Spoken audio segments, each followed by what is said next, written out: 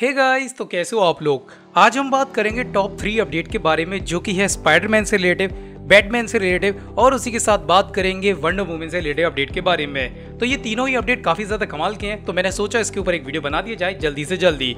तो चलिए सबसे पहले बात करते हैं पहले अपडेट के बारे में, जो कि है मार्वल फ़ेज़ फोर की अपकमिंग मूवी स्पाइडरमैन थ्री अब स्पाइडरमैन थ्री की शूटिंग की डेट कंफर्म हो चुकी है, और देन सिटी कंफर्म हो चुकी है कि स्पाइडरमैन थ्री की शूटिंग कहाँ होने वाली है। तो सबसे पहले स्पाइडरमैन थ्री की शूटिंग नेक्स्ट वीक से स्टार्ट होने वाली है। जी हाँ आपने सही सुना। इसी मंथ अक्टूबर के महीने से आपको नेक्स्ट वीक में स्पाइडरमैन के कुछ अपडेट धीरे धीरे पता चलना चालू हो जाएँगे और न्यूयॉर्क में ये शूटिंग होने वाली है।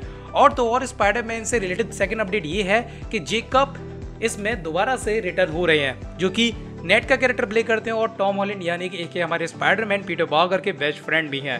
तो नेक्स्ट वीक में जो शूट होने वाला है, वो सबसे पहले नेट का होने वाला है क्योंकि उन्हीं का शूट न्यूयॉर्क में है और देन खबर ये आ रही है कि न्यूयॉर्क से हमें शायद जल्दी से जल्दी अपडेट पता चलेंगे क्योंकि न्यूयॉर्क में फोटोग्राफर काफ़ी ज़्यादा स्मार्ट हैं और उनको अगर ये चीज़ खबर पता चल चुकी होगी तो जल्दी से जल्दी हमें नेक्स्ट वीक या सेकेंड वीक तक इसकी इमेजेस भी देखने को मिल जाएँगी। तो गाइस नेक्स्ट वीक में स्पाइडरमैन थ्री का ऑफिशियल शूट स्टार्ट हो जाएगा और इसमें हमें इलेक्ट्रो भी देखने को मिलेंगे, जो कि हाईलाइट अपडेट है।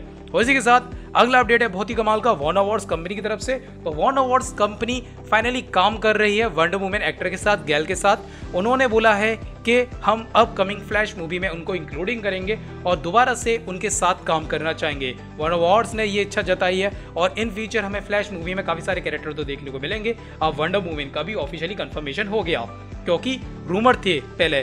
कि एक्वामैन होगा सुपरमैन होगा बैटमैन होगा, ये होगा, वो होगा, पर कंफर्मेशन किसी का नहीं था। पर आज वंडर वुमेन का कंफर्मेशन हो चुका है।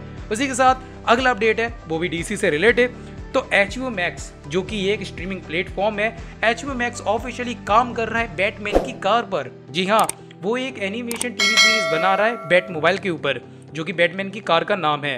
वो एक एनिमेशन टीवी सीरीज़ बनाएगा और देन इस कार के बारे में हमें फुल डिटेल में पता चलेगा एच मैक्स पर कि इस कार के फ़ंक्शन क्या है, ये क्या क्या कर सकती है। और अगर एनिमेशन टीवी सीरीज़ में से बोलता हुआ दिखाया गया तो ये बहुत ही कमाल का होने वाला है। तो गाइज़ आज के लिए बस इतना ही। तो कैसा लगा अपडेट कैसा लगा वीडियो? अगर आप ये वीडियो यूट्यूब पे देख रहे हो मेरे चैनल को सब्सक्राइब करें फेसबुक पे देख रहे पेज को लाइक करें।